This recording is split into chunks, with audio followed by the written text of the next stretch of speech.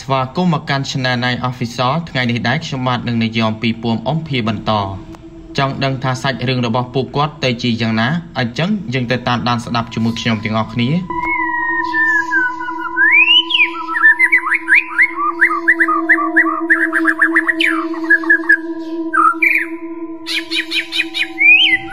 អ៊ំឆានអ៊ំមឿននិងកូនចៅរបស់គាត់បន្ទាប់ពីពួកគាត់ធ្វើដំណើរទៅដល់ប្រាសាទកោះកេរ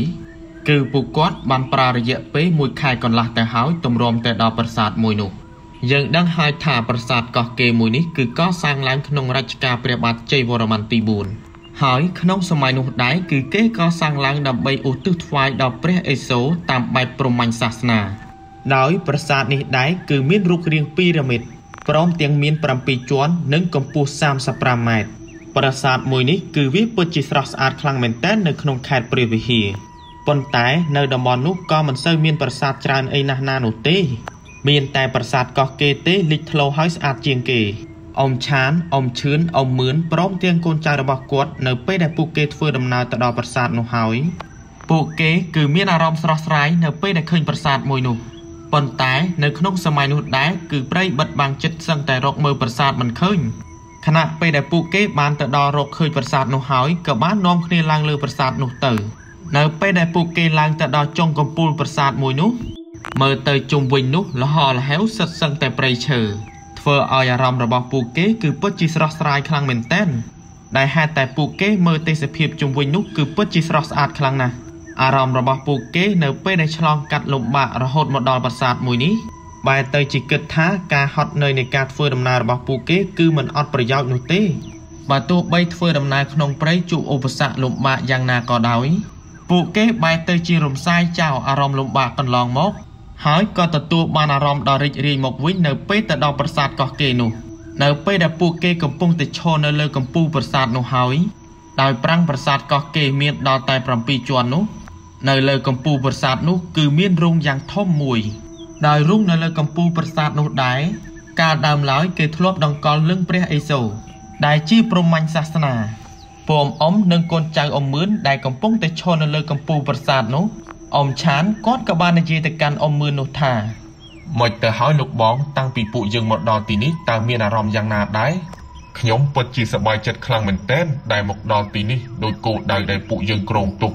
ប៉ុន្តែដោយសារតែមានឧបសគ្គក្នុងការធ្វើដំណើរទើបធ្វើឲ្យពួកយើងយឺតយ៉ាវបន្តិច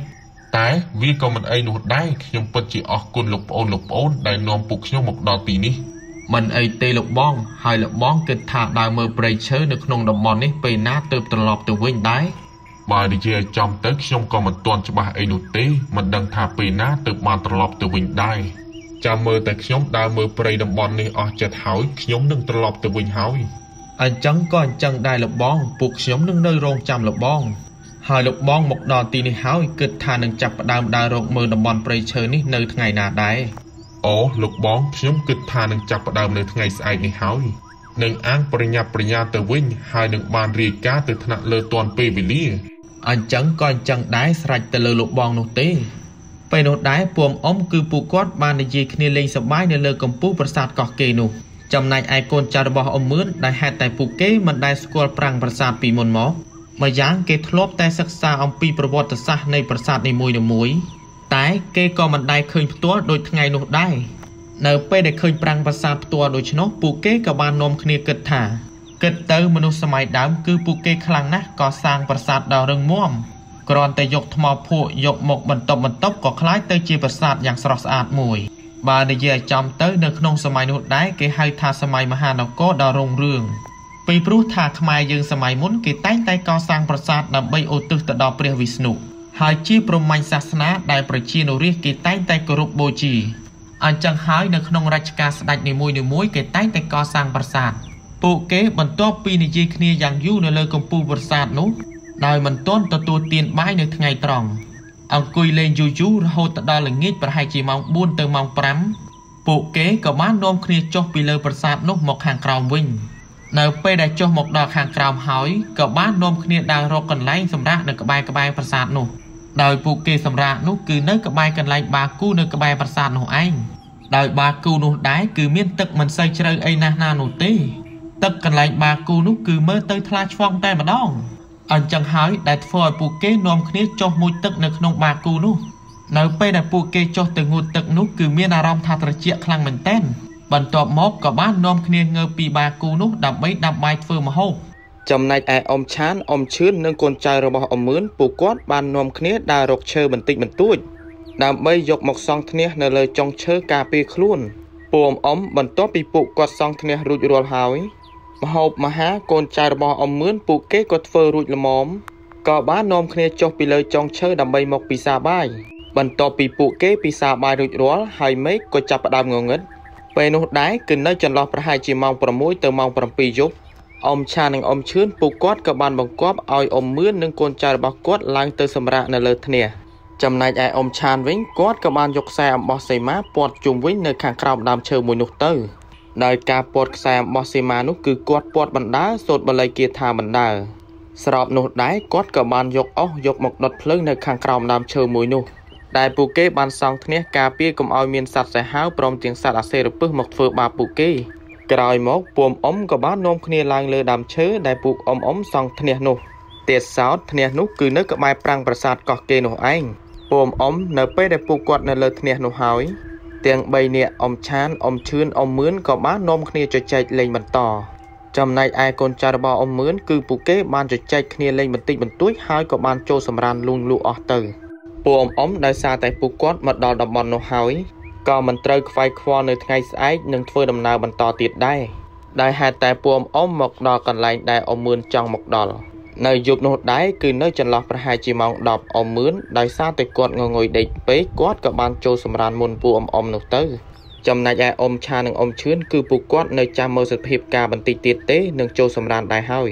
អ៊ំឆានអ៊ំឈឿនកំពុងតែមើលសភាពការបានមួយសន្ទុះក៏ស្រាប់តែពួកគាត់បានលឺស្នូរសំឡេងអ្វីមួយកំពុងតែចេញមកពីប្រាសាទ ខណៈពេលដែលពួកអ៊ំលឺដូច្នោះហើយគាត់ក៏បានសម្លឹងមើលទៅខាងប្រាសាទកោះគេមួយនោះក៏ស្រាប់តែពួកគាត់បានឃើញភ្លើងគួរឲ្យខ្លាចជាច្រើនកំពុងតែហោះនៅក្បែរជើងប្រាសាទកោះគេស្របនោះដែរពួកអ៊ំក៏បានដឹងថាភ្លើងទាំងនោះប្រហែលជាភ្លើងវិញ្ញាណដែលចាំការពារទៅលើប្រាសាទមួយនោះដោយមិនត្រឹមតែប៉ុណ្ណោះប្រហែលជាវិញ្ញាណបូព៌បុរសសម័យដើម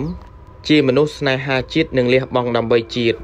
អញ្ចឹងហើយខណៈពេលដែលពួមអ៊ំសម្លឹងមើលទៅជើងប្រាសាទនោះ ឃើញដូចជាមនុស្សស្លៀកសម្លៀកបំពាក់ចងក្បិនសម័យដើមពួកគេកំពុងតែកាន់ដាវដើរជុំវិញហាក់បីដូចជាពួកគេកំពុងតែការពារប្រាសាទមួយនោះពួមអ៊ំឃើញដូច្នោះហើយក៏គាត់មិនភ័យខ្លាចអីដែរស្របនោះដែរអ៊ំឈឿនគាត់ក៏បាននិយាយទៅកាន់អ៊ំឆានថាអាឆានឯងគិតដូចអញអត់ថាវិញ្ញាណទាំងនោះប្រហែលជានៅចាំការពារប្រាសាទកោះគេនេះឯងអើអញក៏គិតថាអញ្ចឹងដែរប្រហែលជាវិញ្ញាណទាំងនោះគឺជាវិញ្ញាណបុព្វបុរសសម័យដើម ដែលពួកគេមើលការទទួលខុសត្រូវលះបង់ដើម្បីជាតិពីព្រោះថាមនុស្សសម័យដើមសាងសង់ប្រាសាទនីមួយៗគឺមិនមែនធ្វើដើម្បីស្ដេចនោះទេគឺពួកគេសាងសង់ដើម្បីឧទ្ទិសទៅដល់សាសនាព្រហ្មញ្ញនៅពេលដែលពំអ៊ំឃើញដូច្នោះហើយគឺពួកគាត់នៅចាំតែអង្គុយមើលនៅលើធ្នះតែប៉ុណ្ណោះខណៈពេលដែលពួកគាត់កំពុងតែអង្គុយមើលទៅកាន់ប្រាសាទនោះសុកសុកក៏ស្រាប់តែមានក្បួនដង្ហែមួយកំពុងតែដើរចេញពីក្នុងព្រៃ ដោយការហែទីនាងនោះគឺមានស្ត្រីម្នាក់កំពុងតែអង្គុយនៅលើក្រែក្បួននោះគឺមានវិញ្ញាណជាច្រើនកំពុងតែដើរហែហមមើលទៅគួរឲ្យខ្លាចដោយវិញ្ញាណទាំងអស់នោះប្រហែលជាបរិវាររបស់ស្ត្រីម្នាក់នោះដែលកំពុងតែអង្គុយនៅលើក្រែដែលជាទីនាងរបស់ស្ដេចសម័យដើមខណៈពេលដែលពុំអ៊ំសម្លឹងមើលទៅវិញ្ញាណនោះហាក់បីដូចជាការឆ្លុះបញ្ចាំងមនុស្សសម័យដើមអញ្ចឹងវាដូចជាទស្សនវិជ្ជាបរិបត្តិមួយនៅក្នុងសង្គមសម័យនោះ អ៊ំឆានអ៊ំឈឿនគឺពួកគាត់នៅអង្គុយមើលរហូតដល់ពីកណ្ដាលអាត្រៀនទាំងដែលពុំអ៊ំមិនបានប្រាប់អ៊ំមឿននិងកូនចៅរបស់គាត់ឲ្យពួកគេបានដឹងនោះទេដែលហេតុតែពួកគាត់មិនឃើញមានរឿងអីកើតឡើងពួកគាត់ក៏បាននាំគ្នាចូលសម្រាននោះទៅលុះពេលព្រឹកឡើងពួកគេក៏បាននាំគ្នាដាំបាយធ្វើម្ហូបហើយបន្តមើលស្ថានភាពនៅក្នុងព្រៃទាំងអស់នោះក្រោយពីពួកគេទទួលទានហើយសម្រាកបានមួយសន្ទុះក៏បានដើរមើលជុំវិញទឹកដីប្រាសាទនោះទៅ ដោយអ៊ំឆានិងអ៊ំឈឿនគឺគាត់នៅចាំកន្លែងធ្នះនៅក្បែរប្រាសាទនោះចំណែកឯអ៊ំមឿននិងកូនចៅរបស់គាត់គាត់ក៏បាននិយាយថាឲ្យអ៊ំឆានិងអ៊ំឈឿននៅទីនេះហើយមិនបាច់ចំទៅណានោះទេទុកឲ្យពួកគេដើរមើលស្ថានភាពនៅក្នុងតំបន់ព្រៃនោះតែធាតពុតអ៊ំមឿនម្នាក់នោះគឺជាមនុស្សលោភលន់ដែលចង់បានទ្រព្យសម្បត្តិវត្ថុបុរាណដើមយកទៅធ្វើការដោះដូរដើម្បីផលប្រយោជន៍ខ្លួនឯងតែប៉ុណ្ណោះ អ៊ំឆាននិងអ៊ំឈឿនដែលហេតុតែពួកគាត់ឬអ៊ំមឿននិយាយដូច្នោះពួកគាត់ក៏នៅរងចាំទីនោះទៅ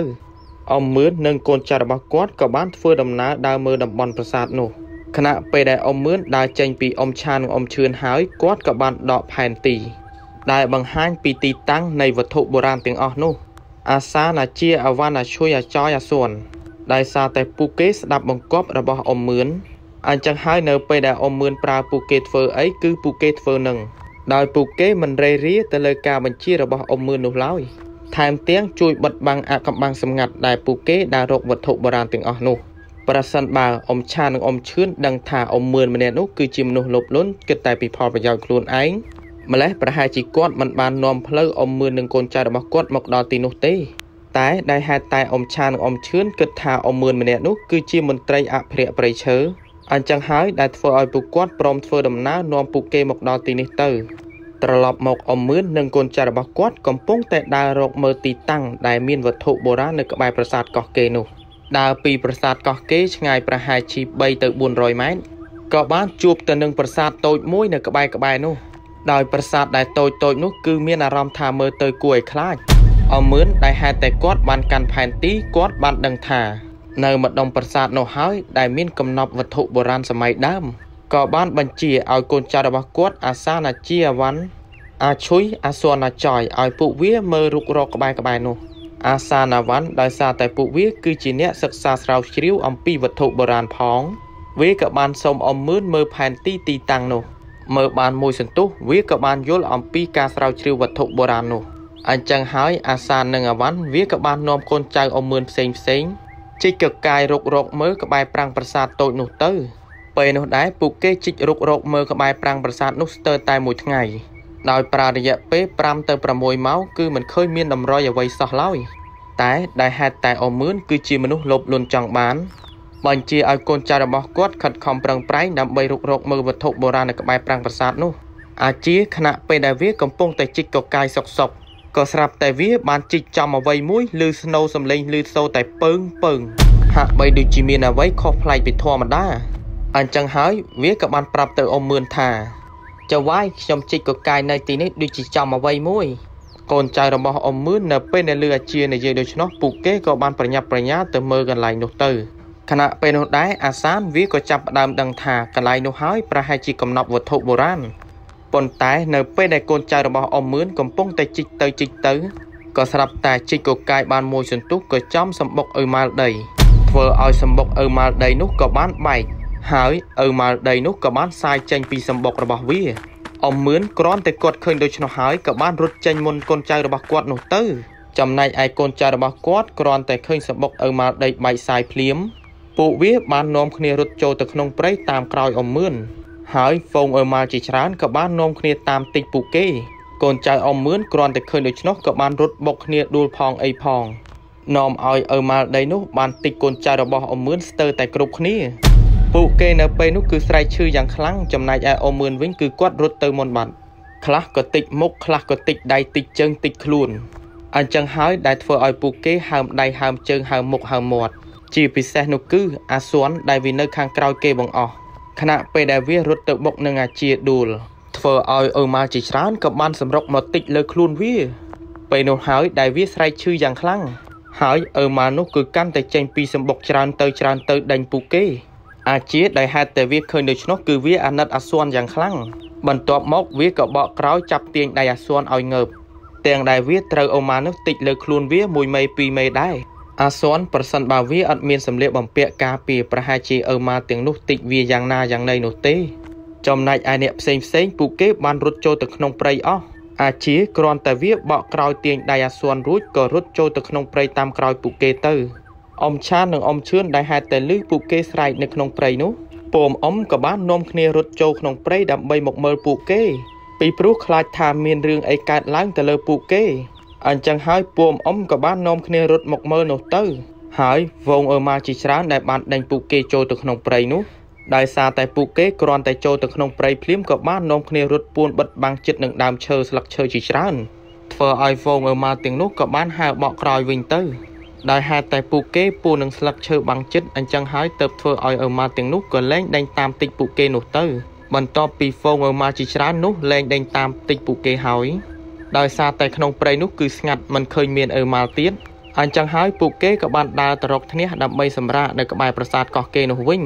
អ៊ំមឿនអ៊ំឆានពួមអ៊ំដែលហេតុតែពួកគាត់ឮសំឡេងដូច្នោះពួកគាត់ក៏បានមកដល់ហើយក៏បានសួរអ៊ំមឿននិងកូនចៅរបស់អ៊ំមឿនថាយ៉ាងម៉េចទៅហើយនេះមានរឿងអីកើតឡើងមែនទេលោកប្អូនអើយហ្វូងឲ្យមកជាច្រើនពួកវាបានដេញតិចពួកខ្ញុំដូច្នេះហើយទៅពួកខ្ញុំស្រ័យទៀងតក់ក្រហល់អញ្ចឹង ហើយចុះអ្នកទាំងអស់គ្នានេះយ៉ាងណាយ៉ាងណីទៅហើយអូអ្នកអើយកូនចៅរបស់ខ្ញុំត្រូវអូម៉ាទិកស្ទើរតែគ្រប់គ្នា ចំណែកឯខ្ញុំមិនអីនោះទេ បានរត់គេចផុតមុនអញ្ចឹងហើយកូនចៅដែលរត់តាមក្រោយខ្ញុំក៏បានត្រូវអូម៉ាទិកទៅពួកគេនិយាយគ្នារួចរាល់ហើយក៏បាននាំគ្នាដើរទៅកន្លែងដើមវិញ ដោយសារពេលនោះគឺមេឃល្ងាចណាស់ដែរអញ្ចឹងហើយពួកគេក៏បានដើរទៅកន្លែងដើមទៅ នៅពេលដែលពួកគេទៅដល់កន្លែងហើយ អាសួនគឺវាហើមពេញខ្លួនដោយសារតែត្រូវអូម៉ាល់នោះតិចចំណែកឯអ្នកផ្សេងគឺមិនសូវកើតអីប៉ុន្មាននោះទេ ហើយយើងដឹងហើយថាឪម៉ាល់គឺមានពឹសខ្លាំងជាងឃ្មុំទៅទៀត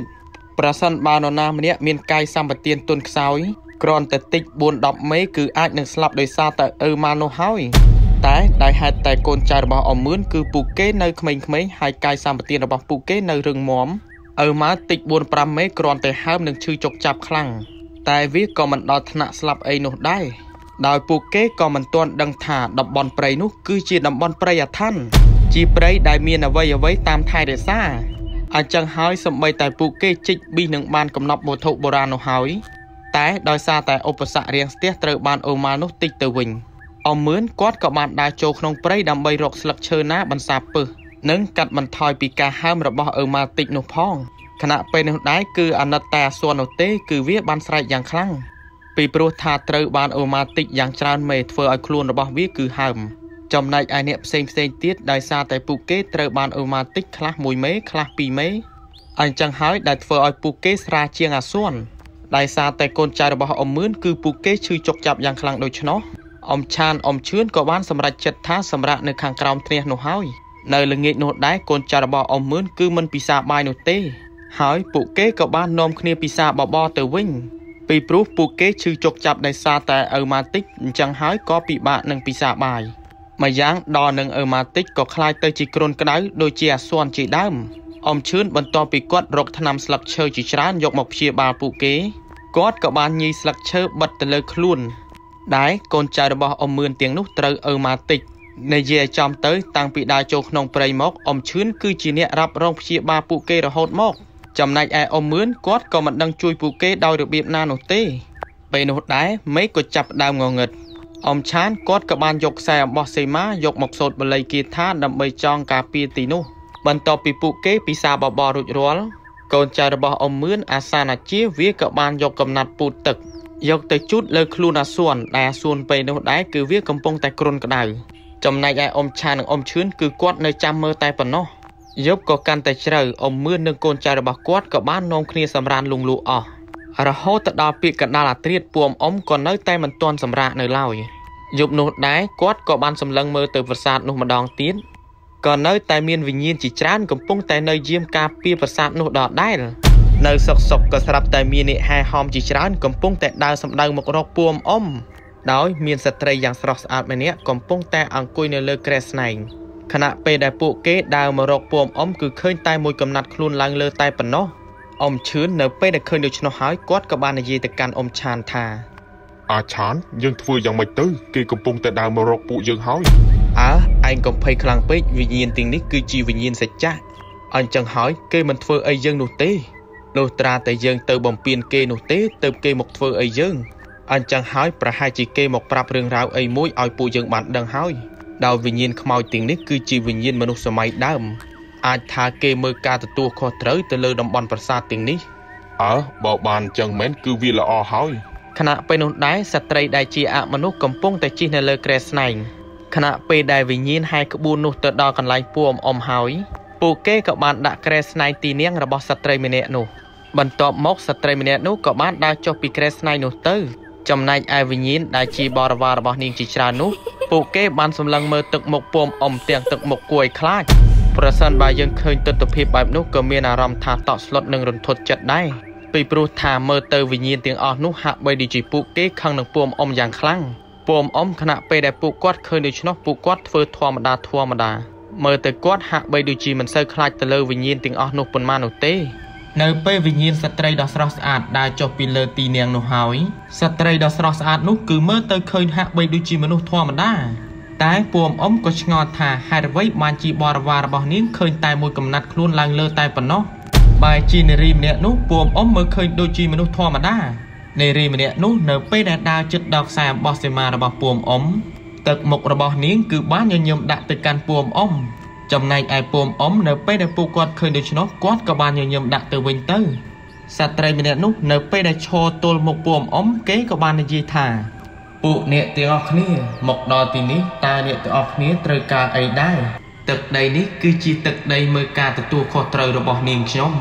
ហើយប្រសិនបើអ្នកទាំងអស់គ្នាមកបំពេញលើទឹកដីរបស់នាងខ្ញុំនាងខ្ញុំក៏មិនអត់ឱនដល់អ្នកទាំងអស់គ្នាដែរ ពីព្រោះថាការពីព្រឹកមិញពួកអ្នកបានទៅធ្វើអ្វីខ្លះលើទឹកដីរបស់ខ្ញុំពួកអ្នកដឹងខ្លួនហើយអ៊ំឆានអ៊ំឈឿននៅពេលដែលលឺនារីម្នាក់នោះនិយាយដូច្នោះពួកអ៊ំនាំគ្នាឆ្ងល់ក៏បានសួរទៅវិញ្ញាណស្ត្រីម្នាក់នោះវិញថាទូបង្គំនៅតែមិនយល់នោះទេព្រះនាងតើពួកខ្ញុំបានធ្វើអ្វីខុសខ្លះទៅហើយប្រសិនបើពួកខ្ញុំបានធ្វើអ្វីខុសពិតមែននៅលើទឹកដីនេះក៏សូមអធិស្ឋាន ពួកអ្នកទាំងពីរប្រហែលជាមិនដឹងអីទេប៉ុន្តែពួកអ្នកគួរតែប្រាប់គ្នាគ្នារបស់អ្នកថាកុំឲ្យទៅបំពេញលើទឹកដីរបស់ពួកយើងទៀតបើមិនដូច្នេះនោះទេនឹងមានរឿងជាមួយពួកខ្ញុំហើយខណៈពេលនោះដែរស្ត្រីម្នាក់នោះក៏បានដើរទៅឡើងទីនាងក្រែស្នែងនោះវិញមើលទៅទឹកមុខបរិវារទាំងឡាយរបស់ស្ត្រីម្នាក់នោះគឺគួរឲ្យខ្លាចខ្លាំងមែនទែននៅពេលដែលពួកគេសែងក្រែស្នែងស្ត្រីម្នាក់នោះត្រឡប់ទៅវិញ ដើរបានផុតពីទីនោះមិនឆ្ងាយប៉ុន្មានក៏ស្រាប់តែស្ត្រីម្នាក់នោះនិងបរិវាររបស់នាងក៏បានបាត់ស្រមោលឈឹងទៅ ចំណែកឯពួកអ៊ំពួកគាត់នៅតែឆ្ងល់នៅឡើយថាតើពួកគាត់បានធ្វើអ្វីខ្លះទើបពួកគេនាំគ្នាមកសួរនាំអញ្ចឹងពួកអ៊ំបន្ទាប់ពីពួកគាត់នៅយាមអង្គុយនៅទីនោះពីកណ្ដាលអាត្រៀតក៏បាននាំគ្នាចូលសម្រាននោះទៅលុះពេលព្រឹកឡើងកូនចៅរបស់អ៊ំមឿនក៏បាននាំគ្នាដាក់បបរព្រមទាំងញីស្លឹកឈើឲ្យល្អិត បិទទៅលើស្នាមហើមនៃការតិចរបស់ឪម៉ាល់ម្នាក់ម្នាក់ពួកគេក៏មានអារម្មណ៍ថាធូរស្បើយជាងមុនចំណែកឯអ៊ំឆាននិងអ៊ំឈឿនពួកអ៊ំអ៊ំនាំគ្នាដើរចូលក្នុងព្រៃដើម្បីបរបាញ់សត្វនៅពេលនោះគេក៏បានមើលទៅប្រាសាទគឺមានអារម្មណ៍ថាស្រស់ស្រាយនិងស្រស់ស្អាតខ្លាំងមែនទែនអ៊ំឆាននិងអ៊ំឈឿនខណៈពេលដែលពួកគាត់ដើរចូលក្នុងព្រៃនោះគាត់ក៏បាញ់បានសត្វសំពោចមួយក្បាលនិងសត្វកំប្រុកមួយក្បាលហើយពួមអ៊ំក៏បាននាំគ្នាត្រឡប់មកវិញ បន្ទាប់មកគាត់ក៏យកសត្វទាំងពីរក្បាលនោះឲ្យកូនចៅអ៊ំឆាននិងអ៊ំឈឿនធ្វើម្ហូបក្រោយពីពួកគេទទួលទានបបរហើយនឹងបាយរួចរាល់អ៊ំឆានដែលហេតុតែគាត់សង្ស័យទៅលើអ៊ំមឿនគាត់ក៏បានសួរទៅអ៊ំមឿនថាលោកបងមានធ្វើអីប៉ះពាល់ទៅលើតំបន់នេះដែរឬអត់ប៉ះពាល់ស្អីទៅលោកប្អូនខ្ញុំដូចជាមិនយល់សោះពីព្រោះថាខ្ញុំនិងកូនចៅរបស់ខ្ញុំដូចជាមិនទាន់បានធ្វើអីនោះទេអញ្ចឹងបើលោកបងមិនបានធ្វើអីប៉ះពាល់ទៅលើតំបន់នេះគឺវាល្អហើយ ពីព្រោះថានៅក្នុងតំបន់ប្រាសាទនេះគឺមានអ្នកតាមថែរក្សាអញ្ចឹងហើយប្រសិនបើពួកយើងបំពេញអ្វីមួយទៅលើទឹកដីគេ គឺគេមិនអត់ឱនឲ្យពួកយើងនោះទេអ៊ំមឿននៅពេលដែលគាត់ឮអ៊ំឆាននិយាយបែបនោះដោយសារតែគាត់គឺជាមនុស្សលោភលន់ទើបគាត់មិនខ្វាយខ្វល់អំពីសម្ដីរបស់អ៊ំឆាននោះទេពេលនោះដែរអ៊ំមឿនគាត់ក៏បានប្រាប់ឲ្យអ៊ំឆាននិងអ៊ំឈឿននៅទីនោះហើយព្រមទាំងប្រាប់ពូអ៊ំឲ្យមើលថែទាំមកសួនផងដែរ ចំណែកឯគាត់និងកូនចៅរបស់គាត់នាំគ្នាដើរចូលទៅក្នុងព្រៃម្ដងទៀតដោយតាមកាពិតទៅគាត់នឹងទៅរុករកមើលវត្ថុបុរាណនៅក្បែរប្រាសាទតូចនោះទៀតពូអ៊ំដែលហេតុតែពួកគាត់មិនបានសង្ស័យអញ្ចឹងគាត់ក៏បានឲ្យអ៊ំមឿននិងកូនចៅរបស់គាត់ដើរចូលទៅក្នុងព្រៃនោះទៅចំណែកឯអ៊ំឆានិងអ៊ំឈឿនគឺពួកគាត់នៅកន្លែងដើម្បីមើលអាសន្ននោះក្រុមរបស់អ៊ំមឿននិងកូនចៅរបស់គាត់នៅពេលដើរទៅដល់កន្លែងប្រាំងប្រាសាទនោះដែលជាកន្លែងដែលពួកគេជីករុករកមើលវត្ថុបុរាណទាំងនោះ ក៏បានលបមើលស្នាមដែលពួកគេជីកកកាយកាលពីម្សិលមិញហើយនៅពេលដែលពួកគេដើរទៅមើលនោះសម្បុកឪម៉ាល់ក៏ស្រាប់តែលែងមានឪម៉ាល់នៅអមមឿននៅពេលដែលគាត់ឃើញដូច្នោះហើយគឺគាត់សប្បាយចិត្តខ្លាំងមែនទែនក៏បានបញ្ជាឲ្យកូនចៅរបស់គាត់នាំគ្នាជីករុករកមើលបន្តដែលជីករុករកមើលវត្ថុបុរាណនោះគឺជីកនៅកន្លែងឪម៉ាល់នោះឯងខណៈពេលដែលពួកគេកំពុងតែជីកកកាយដីនោះសុកសុកក៏ស្រាប់តែបានប៉ះអ្វីមួយដូចជាពួកគេជីកកាលពីម្សិលមិញ ដោយពួកគេបានជីកកកាយដីនោះចុះឡើងចុះឡើងក៏ស្រាប់តែពួកគេបានជួបនៅកំណប់អ្វីមួយដោយកំណប់នោះគឺជាហប់ហាក់បីដូចជាមានវត្ថុអ្វីមួយនៅក្នុងនោះដ៏មានតម្លៃ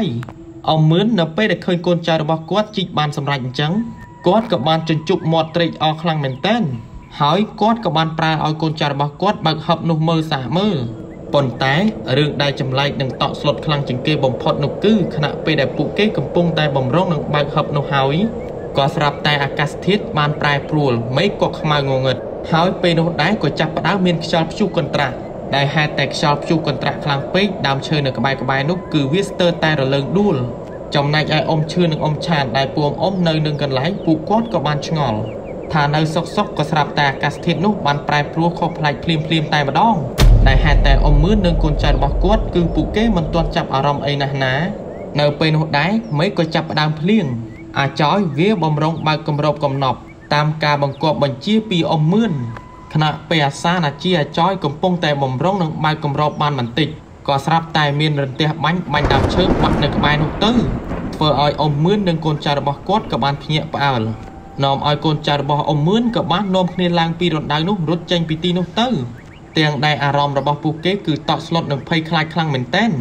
ក៏បាននាំគ្នារត់ទៅជ្រកនៅក្រោមថ្មប្រាសាទនោះទៅ រហូតដល់ពួកគេនៅរងចាំមេឃរៀងបានបន្តិចពួកគេក៏បាននាំគ្នាដើរចេញពីប្រាសាទនោះទៅមើលកន្លែងកំណប់នោះវិញហើយកូនចៅរបស់អ៊ំមឿនពួកគេក៏បាននិយាយទៅកាន់អ៊ំមឿនថាចៅវាយពួកយើងកុំតន់អាបើកមើលអីចាំគោះបានហើយចាំពួកយើងបើកមើលក៏បានដែរអ៊ំមឿនម្នាក់នោះគាត់ក៏បានយល់ស្របនឹងកូនចៅរបស់គាត់ពេលនោះដែរពួកគេក៏បាននាំគ្នាគោះកំណប់នោះទាំងភ្លៀងរិចរិចដោយមិនទាន់បានបើកមើលអីបន្តិចនោះទេ នៅជីកក៏កាយគោះយូរគួសមដែរប្រហែលជាម៉ោង2ទៅម៉ោង3រសៀលដែលហេតុតែកំណប់នោះគឺវាធំគួសមដែរអញ្ចឹងហើយដែលធ្វើឲ្យពួកគេពិបាកនឹងគោះនៅពេលដែលកូនចៅរបស់អ៊ំមឿនគោះដាក់ទៅលើដីស្មៅនោះអ៊ំមឿនគាត់ក៏បានបើកមើលកំណប់នោះទាំងសប្បាយរីករាយហើយខណៈពេលដែលអ៊ំមឿនបើកកំណប់ហឹបនោះមើលក៏ស្រាប់តែគាត់បានឃើញវត្ថុបុរាណពីសម័យដើមនៅក្នុងហឹបនោះពុតមែនអញ្ចឹងហើយដែលធ្វើឲ្យគាត់គឺកាន់តែសប្បាយចិត្តខ្លាំងឡើងខ្លាំងឡើង ដោយវត្ថុបុរាណនោះមានទាំងថូកែវនិងសំណប៉ាហាំងផ្សេងផ្សេងព្រមទាំងកំបិតហើយនឹងដាវព្រះពុទ្ធរូបទុកពីសម័យមុនហើយគាត់ក៏បានរំពឹងថានឹងយកវត្ថុបុរាណទាំងអស់នោះដោះដូរយកប្រាក់កម្រៃនិងធ្វើឲ្យគាត់ក្លាយទៅជាអ្នកមានជាងមុនពួកគេបន្ទាប់ពីគោះវត្ថុបុរាណទាំងអស់នោះបានហើយអង្គមឿនគាត់ក៏បានបញ្ជាឲ្យកូនចៅរបស់គាត់យកកំណប់វត្ថុបុរាណនោះយកទៅទុកនៅក្បែរថ្នាសរបស់ពួកគេ ប៉ុន្តែក៏បានហាមដាច់ខាតកុំឲ្យអ៊ំឆានិងអ៊ំឈឿនដឹងឡើយបើមិនដូច្នោះនោះទេនៅពេលដែលអ៊ំឆានិងអ៊ំឈឿនដឹងហើយច្បាស់ជីពុំអ៊ំមិនពេញចិត្តនៃការបោកប្រាស់របស់អ៊ំមឿននោះពីព្រោះថាអ៊ំឆានអ៊ំឈឿនគិតថាអ៊ំមឿនម្នាក់នោះគឺជាមន្ត្រីអភិរក្សព្រៃឈើអញ្ចឹងហើយដែលធ្វើឲ្យពួកគាត់ស៊ូលំបាកនាំពួកគេមកដល់ទីនេះតែចុងក្រោយបែរទៅជាចាញ់បោកអ៊ំមឿននោះវិញពេលនោះដែរកូនចៅអ៊ំមឿននិងអ៊ំមឿនក៏បានយកកំណប់វត្ថុបុរាណនោះ យកទៅទុកនៅក្បែរកន្លែងពួកគេសម្រាប់នោះឯងប៉ុន្តែអ៊ំឆាននិងអ៊ំឈឿនពួកគាត់ក៏មិនដឹងថាក្រុមរបស់អ៊ំមឿនបានទុកកំណប់នៅក្បែរគាត់នោះឡើយខណៈពេលនោះដែរមេឃក៏ចាប់ផ្ដើមងងឹតផងអញ្ចឹងហើយដែលធ្វើឲ្យពួកគេបាននាំគ្នាឈប់សម្រាកបន្ទាប់មកក៏នាំគ្នាដើរទៅកន្លែងថ្នះដែលពួកគេសម្រាកនោះទៅកូនចៅរបស់អ៊ំមឿនក៏បានចាប់ផ្ដើមដាំបាយធ្វើម្ហូបអ៊ំឈឿនពេលនោះដែរគាត់ក៏បានសួរទៅអ៊ំមឿននោះថា យ៉ាងម៉េចទៅហើយលោកបងដើរក្នុងព្រៃមានឃើញអីចម្លែកចម្លែកទៀតដែរឬអត់អូថ្ងៃនេះពួកខ្ញុំមិនបានជួបគ្រោះថ្នាក់ដូចជាអ៊ឺម៉ាទិកកាលពីម្សិលមិញនោះទេលោកប្អូនហើយចុះលោកបងបាននាំគ្នាត្រួតពិនិត្យដើរចូលក្នុងព្រៃដល់ណាដែរបានជាស្មាននឹងហើយទៅមកដល់កន្លែងវិញនិយាយទៅពួកខ្ញុំថ្ងៃនេះដែរបានវង្វេងផ្លូវបន្តិចបន្តួចម្យ៉ាងដើរចូលទៅក្នុងព្រៃឆ្ងាយពីទីនេះយូរគួរសមដែរអញ្ចឹងហើយបានធ្វើឲ្យពួកខ្ញុំមកទីនេះល្ងឹតបន្តិច អូអញ្ចឹងទេលោកបងខ្ញុំខ្លាចតែក្រុមរបស់លបងឯងជួបគ្រោះថ្នាក់នៅក្នុងព្រៃអញ្ចឹងបានជាមិនកើតអីមកដល់ស្មាណាក៏បានដែរពូមអ៊ំបន្ទាប់ពីពួកគាត់ជជែកគ្នាលេងបានមួយសន្ទុះមហូបមហាក៏បានធ្វើឆ្អិនល្មមអញ្ចឹងហើយពួកគាត់ក៏បាននាំគ្នាទទួលទាននោះទៅក្រោយពីពួកគេទទួលទានរួចពួកគេក៏បាននាំគ្នាចូលសម្រាកនៅក្រោមដើមឈើដែលសង់ធ្នះមួយនោះដោយមិនបានឡើងទៅលើធ្នះសម្រាកនៅលើចុងឈើការពារខ្លួននោះទេ ដែលហេតុតែពួកគេសម្រាកកាលពីយប់មិញពួកគេមិនបានជួបរឿងចម្លែកចម្លែកមកធ្វើបាបពួកគេប៉ុន្តែអ៊ំឆានិងអ៊ំឈឿនពួមអ៊ំបានដឹងហើយបានឃើញថាកាលពីយប់មិញមានស្ត្រីហើយនឹងបរិវាររបស់នាងដោយវិញ្ញាណស្ត្រីម្នាក់នោះគឺជាអ្នកការពារមើលទឹកដីតំបន់នោះហើយអ្នកទាំងអស់គ្នាប្រហែលជាដឹងហើយថាស្ត្រីម្នាក់នោះបានប្រមានអ្វីខ្លះទៅលើពួមអ៊ំដោយគេបាននិយាយថាប្រសិនបើអ្នកទាំងអស់នោះបំពេញទៅលើទឹកដីរបស់គេ គឺគេច្បាស់ជាមិនលើកលែងទោសឲ្យនោះទេ ប៉ុន្តែដោយសារតែអ៊ំមឿននិងកូនចៅរបស់គាត់មិនបានដឹងអញ្ចឹងហើយដែលធ្វើឲ្យពួកគេនៅតែប្រព្រឹត្តនិងបំពានកន្លែងគេប៉ុន្តែបើទោះបីជាអ៊ំមឿនដឹងថាស្ត្រីម្នាក់នោះបានមកប្រាប់គាត់ក៏ដោយក៏គាត់នៅតែធ្វើបែបនោះដដែលដោយសារតែគាត់គឺជាមនុស្សលោភលន់នៅយប់នោះដែរអ៊ំឆានិងអ៊ំឈឿនគឺពួមអ៊ំមិនបានយាមមើលការទទួលខុសត្រូវនោះទេដែលហេតុតែប៉ុន្មានយប់មុនពួមអ៊ំបានយាមស្ទើរតែដាច់យប់អញ្ចឹងហើយដែលធ្វើឲ្យគាត់សម្រានមិនបានគ្រប់គ្រាន់ ក៏បានឲ្យកូនចៅរបស់អ៊ំមឿនអាចយនិងអាឈុយយាមមើលម្ដង ដោយពេលនោះដែរពំនប់ភ្លើងដែលពួកគេបានដុតនោះគឺភ្លុបភ្លោភ្លុបភ្លោដែលអាចភ្លឺមើលឃើញប្រាសាទកោះគេខ្លះខ្លះខណៈពេលដែលពួកគេយាមរហូតដល់ពីកណ្ដាលយប់ក៏ស្រាប់តែមានមនុស្សប្រុសមនុស្សស្រីដើរកាត់មុខដែលមនុស្សស្រីមនុស្សប្រុសទាំងអស់នោះគឺពួកគេស្លៀកក្បិនបុរាណមើលទៅគឺជាមនុស្សសម័យដើម ហើយអាចឈុយនឹងអាចយពេលនោះដែរគឺវាបានចាប់អារម្មណ៍ខ្លះខ្លះដែរ ដោយពួកវាឆ្ងល់ថាជុំវិញប្រាសាទនោះគឺពោពេញទៅដោយមនុស្សដោយមនុស្សទាំងអស់នោះខ្លះដើរចេញពីព្រៃឡើងទៅលើប្រាង្គប្រាសាទនោះដោយក៏មានភ្លើងចន្លុះយ៉ាងភ្លឺទៅលើប្រាសាទនោះហើយពួកគេក៏ឆ្ងល់ថានៅសុកសុកក៏ស្រាប់តែមានមនុស្សជាច្រើនកំពុងតែដើរជុំវិញប្រាសាទនោះមើលទៅនារីនារីសម័យនោះគឺពួកគេស្លៀកឈុតបុរាណគឺស្អាតខ្លាំងមែនទែនដែលកំពុងតែដើរកាន់ក្អមកាត់មុខពួកគេធ្វើឲ្យពួកគេចាប់អារម្មណ៍ភ្លាមអាចយអាឈុយពេលនោះដែរគឺឃើញដូច្នោះគឺវាភ្លើតភ្លើន ដែលពួកវាមិនបានគិតថាអ្វីអ្វីដែលមើលឃើញជុំវិញនោះគឺជាការភ័ន្តច្រឡំអញ្ចឹងហើយដែលធ្វើឲ្យពួកវាដើរចេញពីខ្សែអំបោះសីមារបស់អ៊ំឆានទៅមើលថាមានមនុស្សជាច្រើនដែលកំពុងតែដើរតាមជុំវិញប្រាសាទតាមថ្នាក់ថ្នាក់នីមួយៗតើពួកគេទាំងអស់នោះគឺកំពុងតែធ្វើអ្វីខ្លះទាំងយប់អញ្ចឹងអ៊ំឆានអ៊ំឈឿនអ៊ំមឿននិងកូនចៅរបស់គាត់នៅពេលនោះដែរគឺមិនបានដឹងថាអ្នកទាំងពីរនោះបានដើរចេញពីកន្លែងនោះទេ នៅពេលអាឈុយវាដើរចេញពីទីនោះហើយ វាក៏បានសួរមនុស្សជាច្រើនដែលកំពុងតែដើរនោះថាអូបងបងតើបងបងទាំងអស់គ្នាមកពីណាដែរបានជាមិនដែលឃើញពេលថ្ងៃទេតែឃើញនៅពេលយប់វិញម្យ៉ាងហេតុអីបានជាស្លៀកសម្លៀកបំពាក់ឈុតបុរាណអញ្ចឹងមើលទៅហាក់បីដូចជាអ្នកទាំងអស់គ្នាគឺជាមនុស្សសម័យដើមខណៈពេលអាចយវាបានសួរគេដូច្នោះគឺពួកគេមិនបានឆ្លើយតបសំបីតែមួយម៉ាត់អញ្ចឹងហើយធ្វើឲ្យពួកគេក៏ចាប់ផ្ដើមចាប់អារម្មណ៍ថាប្រហែលជាមានរឿងមិនស្រួលទៅលើពួកគេហើយ ខណៈនៅពេលនោះដែរពួកគេក៏បំរុងដើរទៅកន្លែងវិញ តែនៅពេលដែលពួកគេងាកទៅខាងទឹកបាគូក៏ស្រាប់តែពួកគេបានឃើញស្ត្រីម្នាក់កំពុងតែរំរបាំនៅក្បែរបាគូដោយបាគូនោះគឺនៅក្បែរប្រាង្គប្រាសាទនោះតែម្ដង ហើយក៏មានមនុស្សជាច្រើនកំពុងតែរោមពាត់ឈរមើលស្ត្រីម្នាក់នោះរំរបាំអញ្ចឹងហើយដែលធ្វើឲ្យពួកគេមិនអស់ចិត្តក៏បាននាំគ្នាទៅមើលមនុស្សម្នាទាំងអស់នោះទៀតហើយភ្លើងចន្លុះក៏បានបំភ្លឺនៅទីនោះយ៉ាងច្បាស់អញ្ចឹងហើយធ្វើឲ្យពួកគេនាំគ្នាទៅមើល នៅពេលដែលពួកគេទៅដល់កន្លែងមនុស្សជាច្រើនកកកក៏បាននាំគ្នាសម្រុកទៅមើលស្ត្រីម្នាក់នោះដែលកំពុងតែរំរបាំដោយទឹកមុខស្ត្រីម្នាក់នោះបានញញឹមទៅពួកគេធ្វើឲ្យអាចយនិងអាឈុយដែលហេតុតែវាចាប់អារម្មណ៍ទៅលើស្ត្រីដែលកំពុងតែរំរបាំនោះផងទាំងដែលស្ត្រីម្នាក់នោះគឺរំរបាំទន់ភ្លន់មើលទៅគឺស្រស់ស្អាតខ្លាំងមែនទែនអញ្ចឹងហើយដែលធ្វើឲ្យពួកវានៅអង្គុយមើលបានមួយសន្ទុះខណៈពេលនោះដែរស្ត្រីដ៏ស្រស់ស្អាតដែលកំពុងតែរំរបាំនោះ ក៏ស្រាប់តែប្រែទឹកមុខភ្នែកពណ៌ខ្មៅមុខសស្គុះភ្នែកនិងមាត់ហូរឈាមយ៉ាងក្រហមឆ្អៅអញ្ចឹងហើយដែលធ្វើឲ្យអាឈុយនិងអាចយគឺវាភ័យតក់ស្លុតយ៉ាងខ្លាំងហើយមិនត្រឹមតែប៉ុណ្ណោះនោះទេស្ត្រីដែលរំរបាំនោះក៏បានសើចមើលទឹកមុខគួរឲ្យខ្លាចខ្លាំងមែនទែនដែលហេតុតែពួកគេតក់ស្លុតរន្ធត់ចិត្តខ្លាំងពេកពួកគេក៏បំរុងរត់ចេញពីទីនោះហើយតែនៅខណៈពេលដែលពួកគេងាកមកខាងក្រោយ រឿងដែលរន្ធត់និងគួរឲ្យខ្លាចជាងមុនទៅទៀតនោះគឺ មានខ្មោចជាច្រើនដែលកំពុងតែនៅជុំវិញពួកគេដោយខ្មោចទាំងនោះគឺជាខ្មោចបរិវាររបស់ស្ត្រីដែលរំរបាំនោះហើយមានរូបរាងស្លៀកសម្លៀកបំពាក់ដូចសម័យមហានគរប៉ុន្តែមើលទៅខ្មោចទាំងអស់នោះគឺពោពេញទៅដោយឈាមស្រោចពេញខ្លួនពីព្រោះខ្មោចទាំងនោះគឺស្លាប់ដោយសារការធ្វើសឹកសង្គ្រាមអញ្ចឹងហើយដែលធ្វើឲ្យពួកគេនៅជាមចាំការពារទឹកដីនោះកន្លងមក ដោយពួកគេមិនបានទៅចាប់ជាតិចាប់កំណើតនោះទេ ពីព្រោះថាពួកគេគឺជាមនុស្សស្នេហាជាតិធ្វើអ្វីអ្វីគឺដើម្បីទឹកដីមិនព្រមឲ្យនរណាម្នាក់មកឈ្លានពានងាយងាយឡើយខណៈពេលអាជួយនៅអាចយបំរុងស្រែកហៅពួមអ៊ំមកជួយវិញ្ញាណស្ត្រីដែលជាអ្នករំរបាំនោះក៏បានលើកពួកគេច្របាច់កផុតពីដីធ្វើឲ្យពួកគេនិយាយមិនកើតដកដង្ហើមមិនរួចស្ត្រីដែលជាវិញ្ញាណនោះក៏បាននិយាយទៅកាន់ពួកគេទាំងពីរនាក់ថា ពួកឯងត្រូវតែស្លាប់ពួកឯងហ៊ានឈ្លានពានទឹកដីយើង